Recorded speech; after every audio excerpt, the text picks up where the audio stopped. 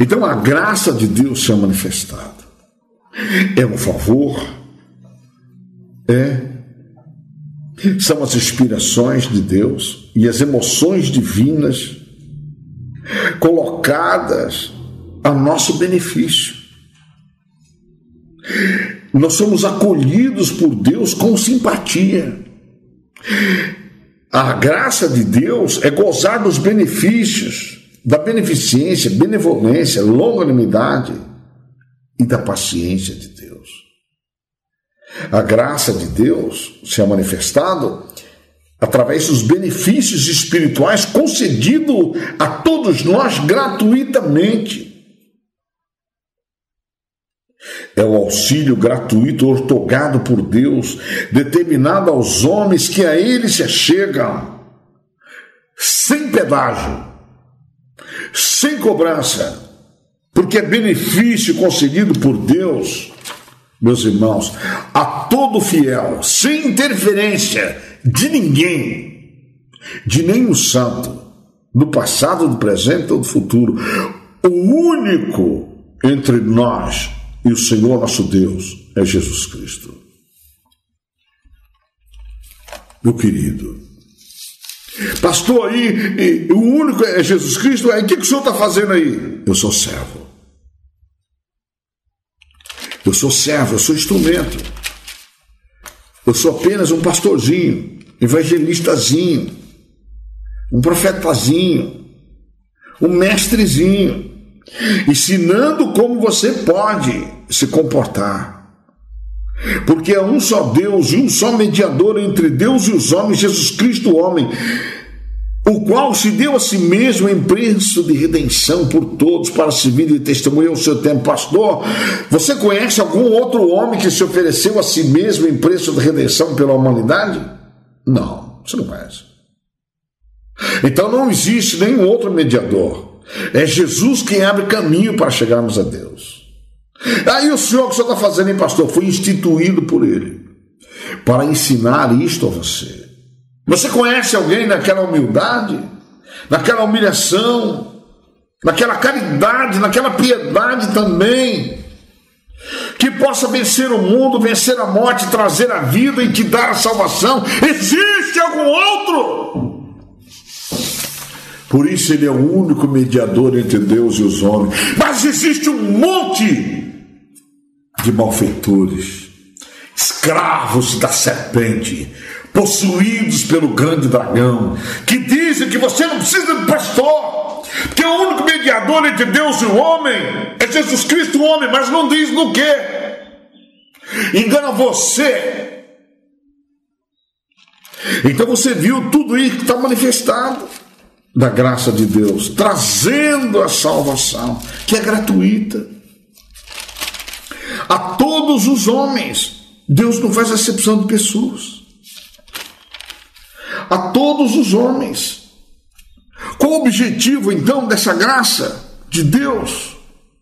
Meu amigo, minha amiga. Sabe, meu amigo, meu irmão, você que me ouve, que me acompanha todos esses anos. Eu, às vezes, eu me sinto culpado por ter ficado tantos anos sem pregar. Mas eu, eu, eu como você sabe, eu, eu não sei mexer em internet, computador. Eu nunca mexi com essas coisas. Mas eu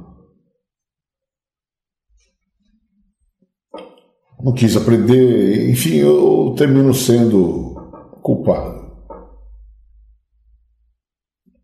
Fiquei muitos anos sem pregar, aproximadamente uns 10, 12 anos sem pregar. Você imagina um pregador que tem a missão de pregar em tempo e fora de tempo? Como disse Paulo, e conformosos os pés dos que anunciam coisas boas. E eu deixei tudo isso para cuidar de um rebanho. Preparando esse rebanho exatamente para escapar da carona que está aí no mundo. E fiz isso com muita alegria no meu espírito, certo de que eu estava fazendo a coisa certa. E como eu recebo diretamente de Deus, e você sabe, não há intermediário entre Deus e o homem a não ser Jesus Cristo, o homem. E por Jesus Cristo, o homem que se deu a si mesmo, como nós acabamos de ler agora, é, eu não conheço outro homem que se entregou. Não, de maneira nenhuma. Só conheço Jesus. Só conheço Jesus que se entregou naquela humilhação, por isso, ele é o mediador. Então, se nós precisamos, meu amigo, de chegarmos a Deus, é através de Jesus Cristo. Ele é o único mediador.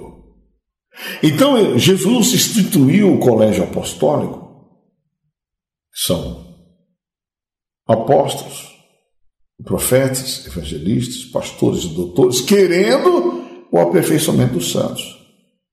Isso não anula, em hipótese alguma, o Jesus mediador, pelo contrário, engrandece mais. Porque nós ensinamos, meus irmãos, nós ensinamos a todos os homens, principalmente eu ensino, né? eu não conheço ninguém ensinando isso. Desculpa a franqueza. Eu não conheço ninguém ensinando isso. Eu ensino. Eu ensino e digo. As datas, as revelações, quando eu recebo de Deus, por exemplo, faz três anos, mas eu recebi essa revelação e já cantei na hora. Por que Paulo, meu amigo, apóstolo, considerou tudo na sua vida, meus irmãos, esterco? Tudo.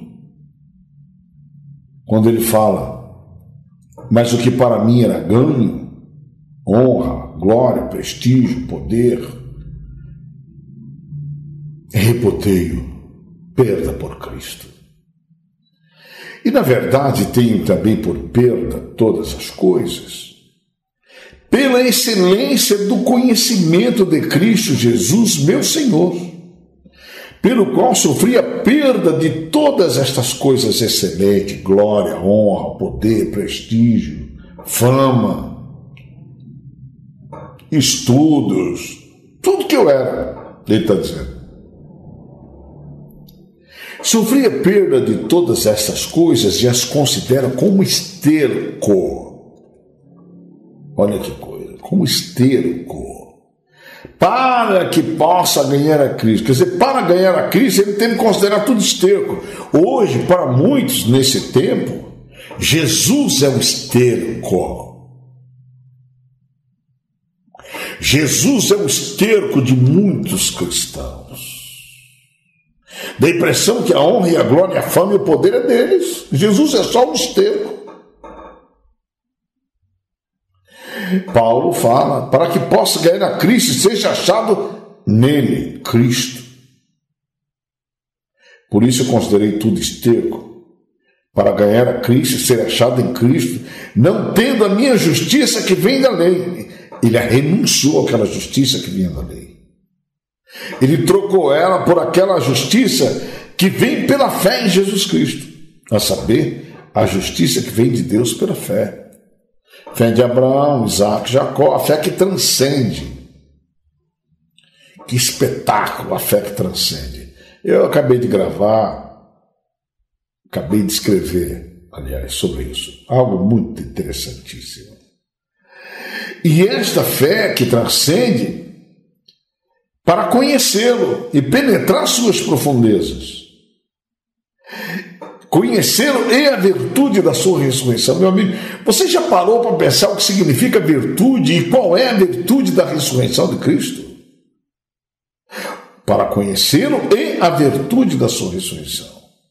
E a comunicação de suas aflições. Pastor, o que é a comunicação das aflições de Cristo? O que é a virtude da sua ressurreição? Pergunta para o seu pastor para ver se ele te responde. Pergunta para o teólogo para ver se ele te responde. Pergunta.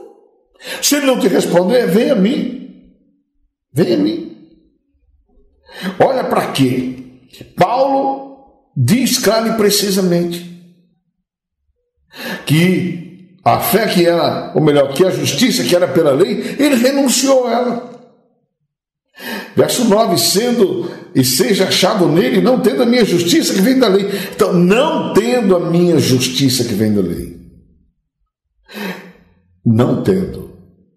Porque aquela justiça que vem dali inspirava nele ódio, ira, raiva, cólera, fúria, desejo de matar, como está lá em Atos capítulo 26, a partir do verso 9, ele confessa aquilo de forma impressionante, do 9 ao 12. Até quando ele cai do cavalo, quanto ódio, quanta ira, quanta raiva contra Jesus Cristo, quanta bronca.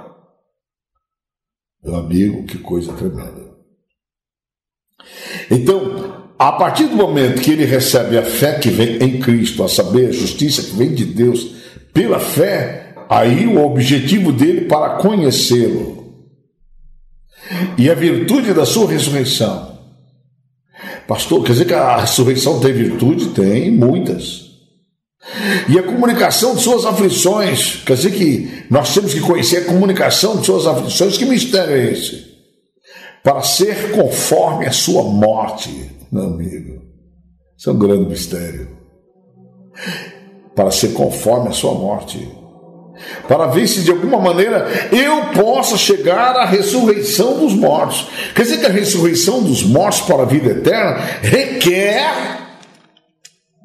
requer, meu amigo, ser conforme a morte de Jesus Cristo, ser conforme a comunicação de suas aflições, ser conforme a virtude da sua ressurreição, ser conforme conhecer o seu íntimo, segundo a fé e a justiça que vem de Deus, renunciando à justiça da lei. Que coisa tremenda. E para isso o homem tem que considerar tudo esterco. Mas, meu amigo, o sujeito considera Jesus de esterco e o resto honra, glória e poder. O que é que eu vou fazer? Paulo buscava essa realidade, dizia para que eh, não que tenha alcançado, olha que coisa tremenda, não que tenha alcançado a ressurreição dos mortos, não, não que tenha alcançado ou que seja perfeito, mas prossigo para alcançar aquilo para o qual também fui preso por Cristo Jesus. Então ele foi preso por Cristo Jesus para viver a justiça que vem de Deus pela fé, para conhecê-lo e a virtude da sua ressurreição e a comunicação de suas aflições, sendo conforme a sua morte, para ver se de alguma maneira chegaria a ressurreição dos mortos. E eu estou nessa dimensão também. E para isso, eu então me apoderei da graça. Ora, como eu cansei de pregar, a graça de Deus está revelada na nova aliança, no Novo Testamento. O conserto de Deus com os homens, o evangelho da nossa salvação. E tendo nele crido, nós somos selados pelo Espírito Santo da promessa. Aí sim o Espírito Santo trabalhará como graça, gratuitamente, nos ensinando, nos instruindo isto é, transmitindo o conhecimento de Deus, as informações e os esclarecimentos úteis e indispensáveis à nossa educação espiritual. A graça de Deus nos ensinará, através do Espírito Santo, a doutrina e o esforço orientado para a formação e a modificação da nossa conduta humana para transformação da nossa vida espiritual, educação e modificação da conduta humana. O Espírito Santo vai nos trazer a polidez que faz com que o ser humano seja cortês, educado, delicado, gentil. Então a graça de Deus se é manifestado indicando, ensinando, formando como deve ser o procedimento, comportamento e as formas de tratamento, ao tom da voz, etc. e tal. O Espírito Santo vai nos ensinar, pela graça de Deus, e a graça de Deus pelo Espírito Santo, a como ter boas maneiras, a como sermos adestrados, corrigidos. Como ensinador, ou como ensinadora, a graça de Deus é instrutora, esclarecedora, educadora, adestradora, treinadora, transmitindo conhecimento. Então, o Espírito Santo é o Espírito doutrinador, professor e mestre na revelação. Meu amigo, perdoe a minha franqueza. Eu não conseguiria viver sem essa realidade. E desde que eu preguei na Rádio Mundial, na Rádio Tupi, na Rádio Morada do Sol, na Rádio Difusora Oeste de Osasco, na Rádio. Eu preguei em tantas emissoras de rádio que eu nem lembro. Rádio de São Paulo. É, onde mais? Ixi, rapaz. Eu nem lembro dos nomes, que as pessoas põem minha pregação, eu nem lembro onde estou. Sempre já preguei por tanto lugar. Eu venho, segundo a graça de Deus, pelo Espírito Santo, transmitir aquilo que adquiri de conhecimento a todos vocês, de forma gratuita. Então, eu estou comunicando, eu estou noticiando para você e cientificando você através das informações dos estudos que eu tenho e faço a todos vocês. Ensinando vocês, adestrando e habilitando cada um de vocês, capacitando pelo intelecto, dando a vocês conhecimento, esclarecimentos sobre tudo que aprendi da graça de Deus. Esclarecendo e orientando pelo Espírito Santo que habita em mim, que é o Espírito da graça de Deus, que vem me adestrando, me domesticando, me corrigindo. Ele vem ministrando, esclarecendo para mim, trazendo a elucidação dos fatos, a revelação, por sonhos, visões. Então ele me precisa dos conhecimentos de Deus, me dando entendimento e eu vou transmitindo a toda a igreja, a todo aquele que crê. Não que eu seja melhor que qualquer um de vocês, de maneira nenhuma, mas aquilo que Deus me transmite, porque Ele diz que eu sou a luz do mundo, você também é a luz do mundo, então Ele ilumina o nosso entendimento, nos apacentando, nos ensinando, esclarecendo, explicando, habilitando, educando, iluminando, através da palavra, porque ela é luz para o nosso caminho, lâmpada para o nosso caminho, luz para o nosso andar, lâmpada para os nossos pés, nos preparando, nos educando, nos doutrinando. Então, dentro dessa realidade, meu amigo, meu irmão, minha irmã, você que me acompanha, eu passo a você essa realidade espetacular. Porque a graça de Deus se é manifestado trazendo salvação a todos os homens, ensinando-nos que renunciando, olha que coisa tremenda, renunciando, renunciando à impiedade e às concupiscências mundanas. Vivamos neste presente século sóbria, justa e piamente. Então existe, meu amigo, minha amiga, um propósito de Deus. Existe um objetivo de Deus, um ideal de Deus para os homens. Através da sua graça. Mas, pastor, o que é a graça de Deus? A graça de Deus, meu amigo, são os favores magníficos da virtude de Deus dispensada como benefício e dádiva, benevolência a todos os homens. A graça de Deus é a estima de Deus e as boas vontades de Deus para todos os seres humanos da terra. A graça de Deus é o ato da sua clemência, do seu poder, dos seus favores aos condenados à morte definitivamente, à morte eterna. E dessa maneira, por amar os homens de tal maneira e perdoando-os, não lhes imputando nenhum pecado, e vendo o homem, como está lá em Romanos, capítulo 3, verso 23, o homem pecava debaixo da paciência de Deus.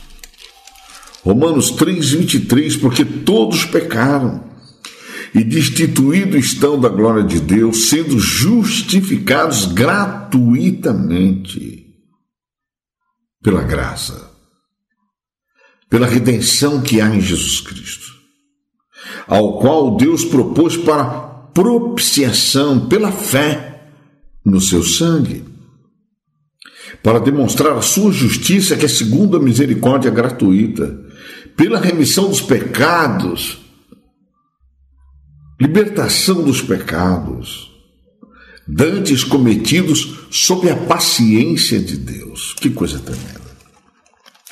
Então, o homem já pecava debaixo da paciência de Deus, e agora Deus está oferecendo a ele e dando a ele a grandeza do seu amor, da sua bondade infinita, e revelando através da sua graça, sua beleza, sua elegância em favor dos desmerecidos de forma gratuita. De forma gratuita.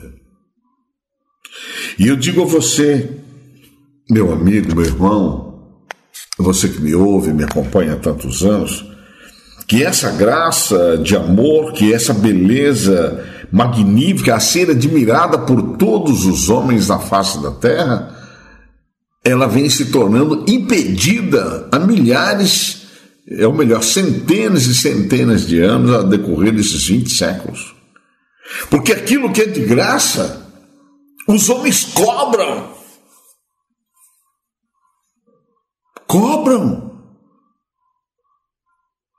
Esses benefícios gratuitos eles cobram e vendem a graça de Deus, vendem até a salvação, e por um preço ajustado e determinado, tirando assim a elegância dessa beleza espetacular que se revela através da grandeza, meu irmão,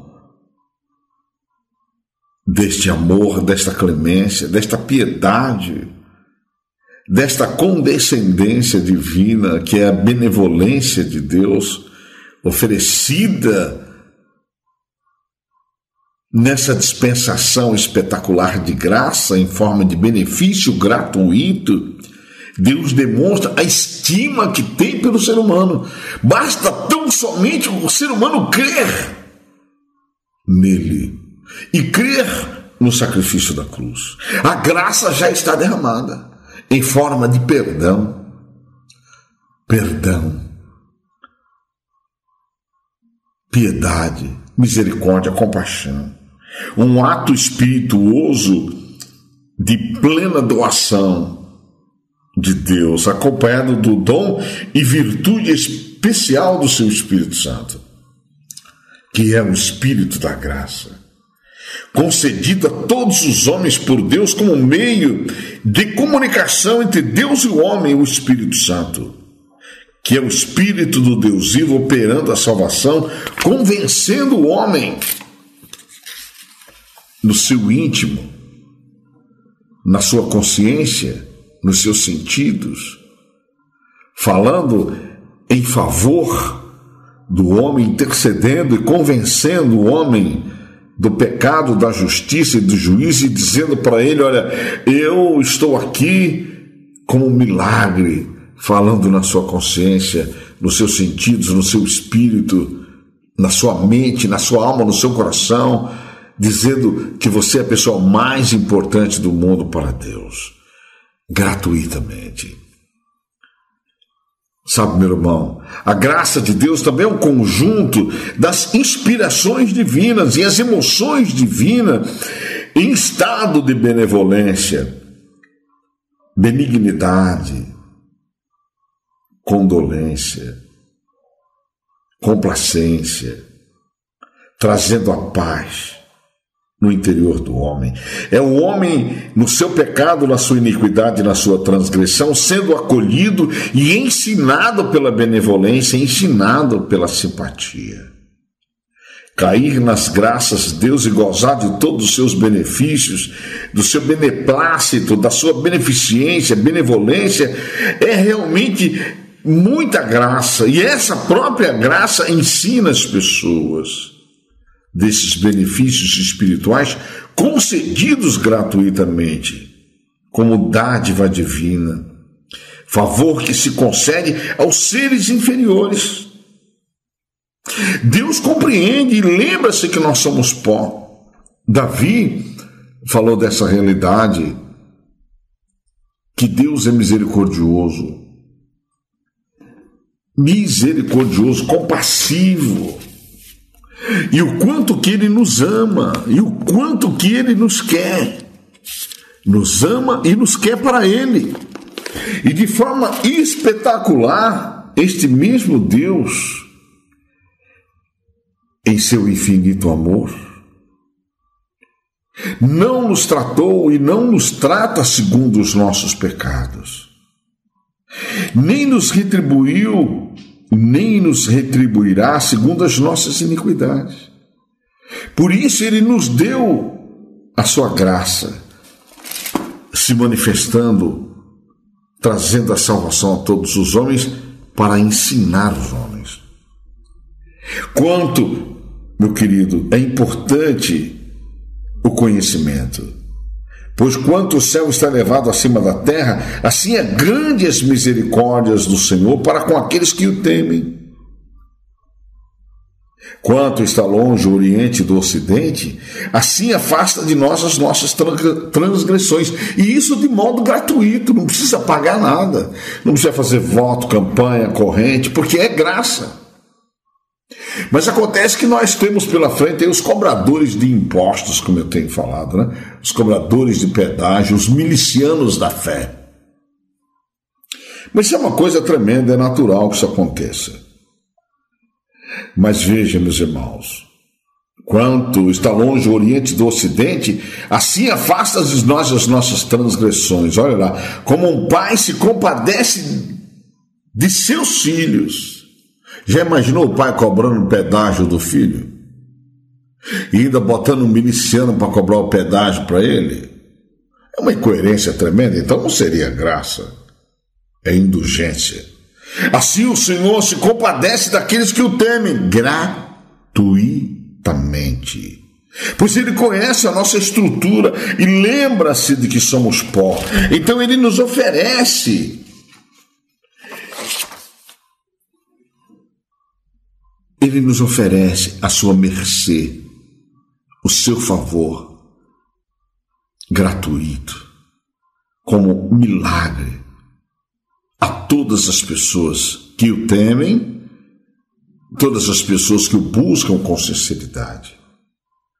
A graça que nos ensina, meus irmãos, que se há manifestado trazendo a salvação a todos os homens, ensinando-nos que renunciando às impiedades, rejeitando as impiedades, recusando as impiedades e desistindo dessas impiedades.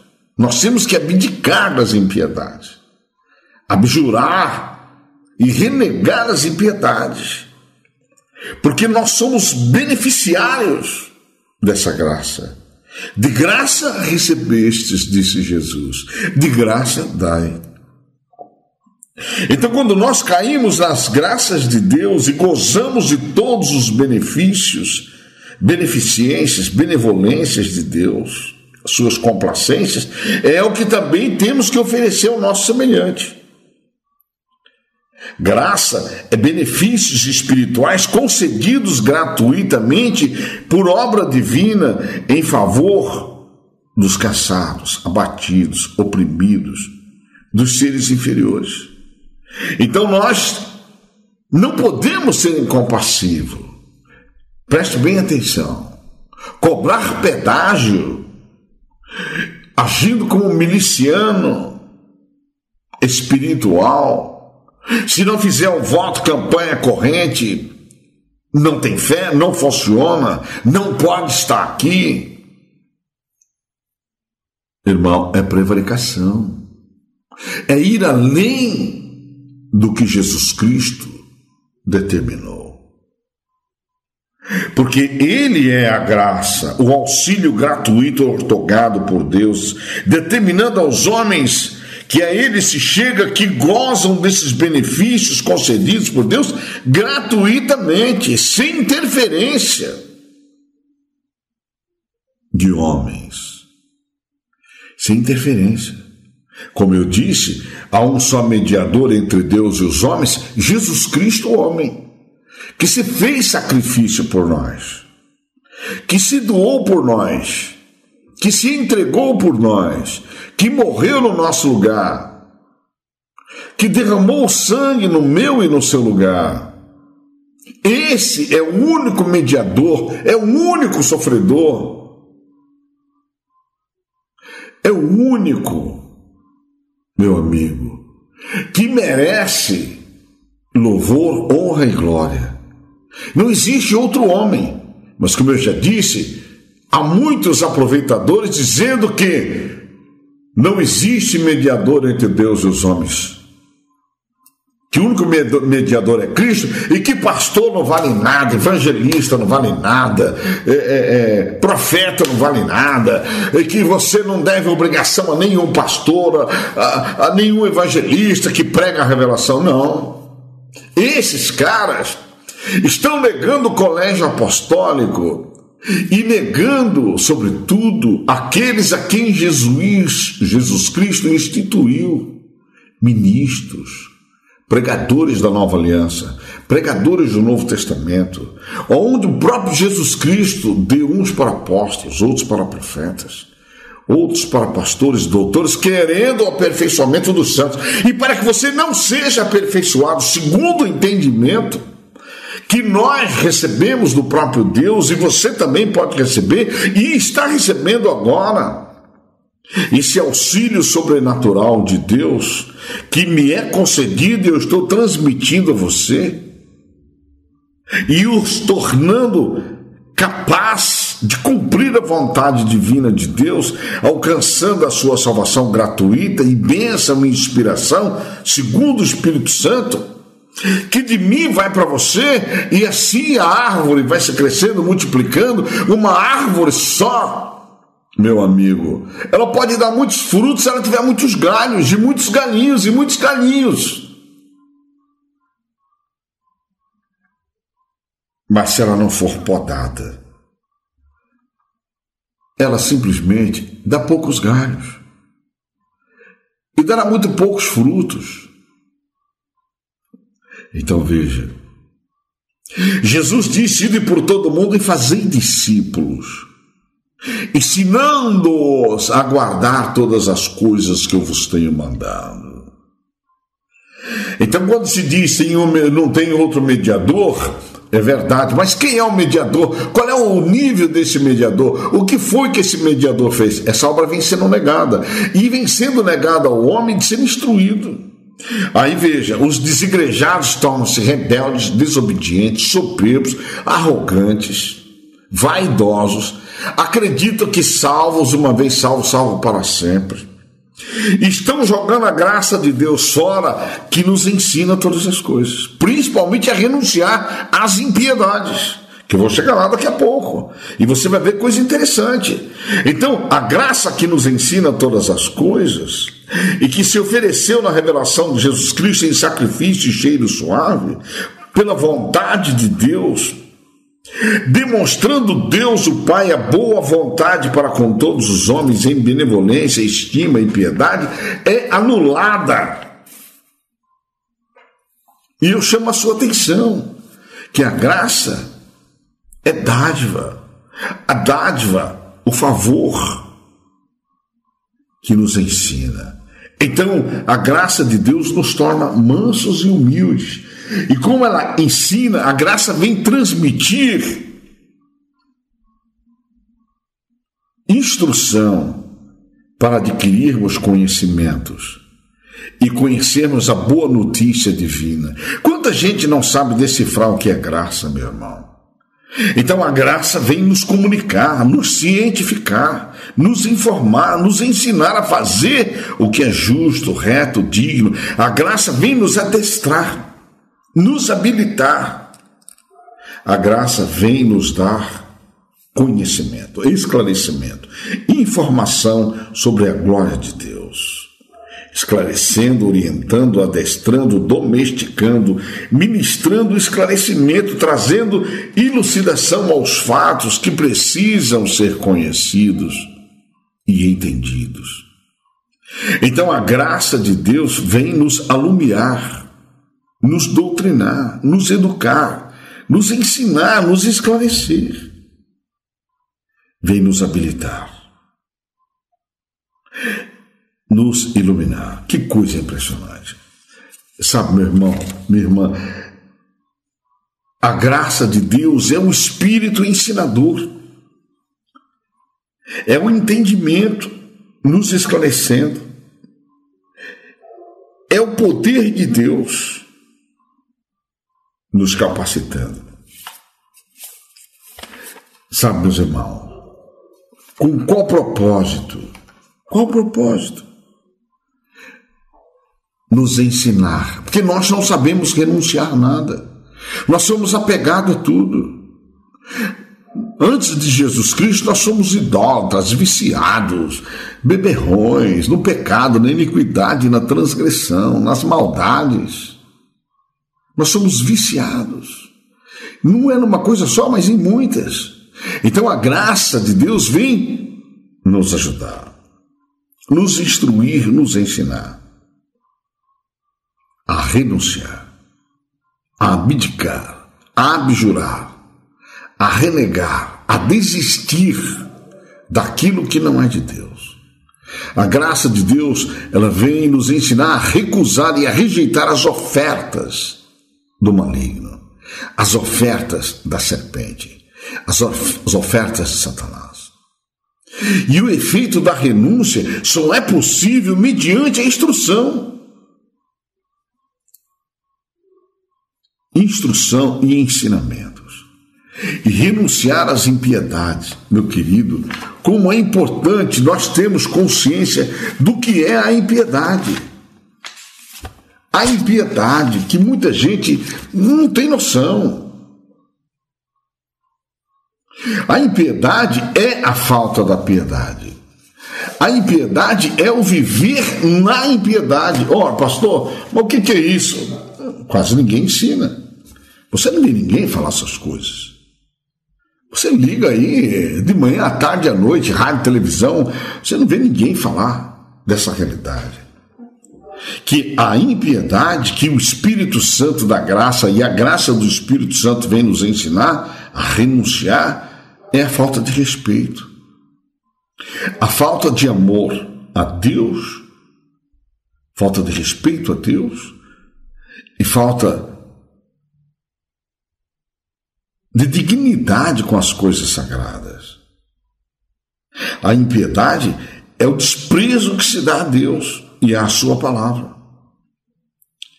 A impiedade é o desrespeito aos valores consagrados por Deus, sua retidão.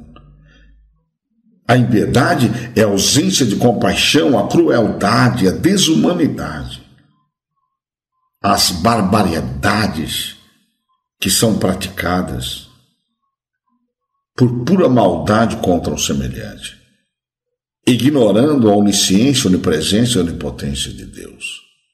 A impiedade é a malícia, é o engano, é a impureza. Aquele que não honra seus deveres, suas responsabilidades.